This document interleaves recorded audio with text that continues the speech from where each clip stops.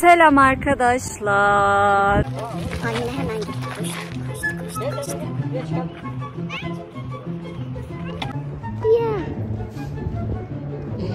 Evet arkadaşlar annem poz veriyor ama ben annemi şu an çekmiyorum.